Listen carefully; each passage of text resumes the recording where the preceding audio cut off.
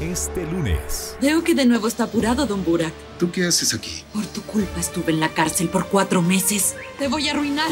Una decisión difícil. ¿Por qué no le hablaste después de haberlo buscado? ¿Le digo que mi mamá se tiró de la ventana por su culpa cuando yo tenía una semana? ¿Qué le digo? Las mil y una noches. De lunes a viernes a las 11.45.